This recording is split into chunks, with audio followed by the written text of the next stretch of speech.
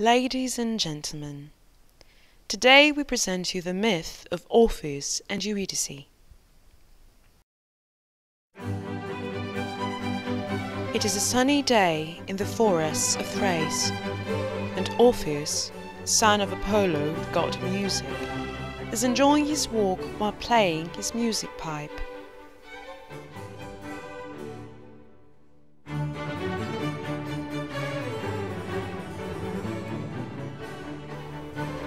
The sound of his music could tame even the wildest of the beasts, like foxes, horses, and even lions.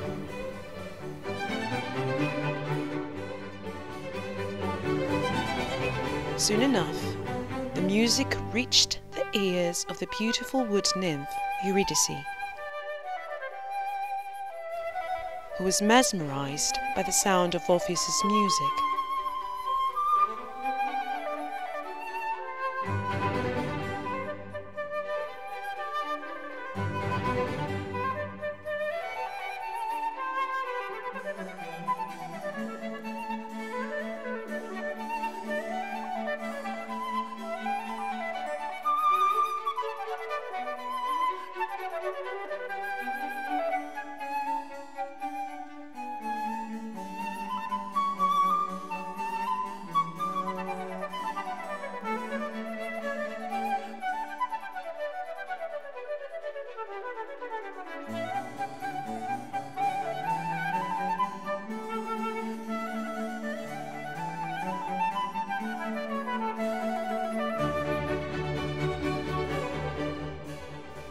Was it music or fate that brought them together?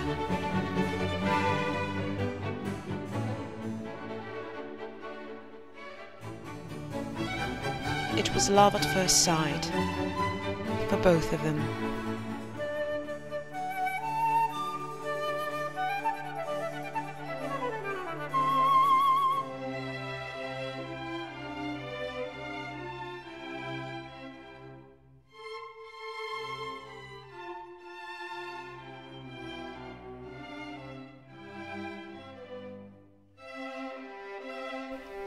Orpheus's love for the nymph was so great that he decided to make Eurydice his lawful wife.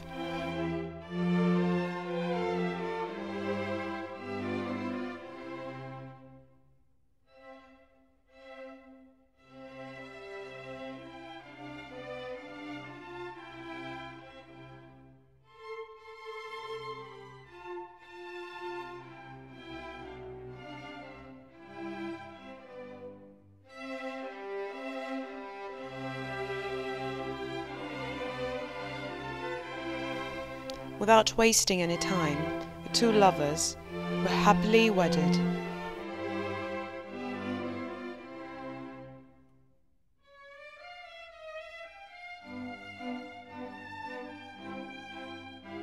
But their love was bound to be fatal.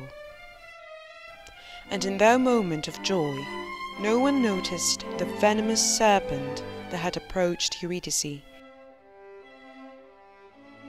ready to make its attack.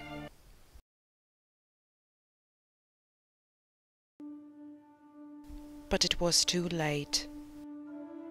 Eurydice was already gone.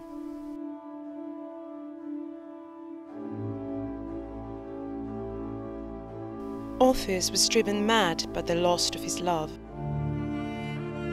and he would do anything to take Eurydice back.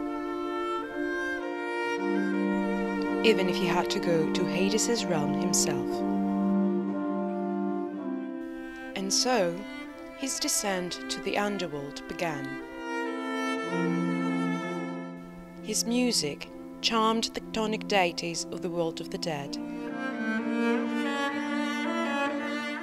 And when finally Orpheus stood before the king and the queen, he charmed them too.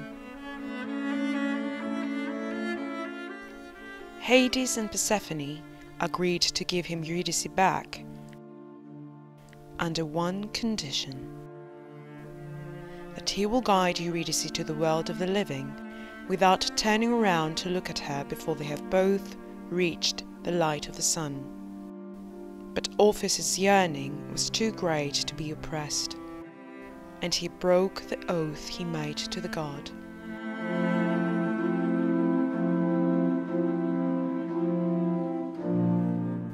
Eurydice was now lost forever.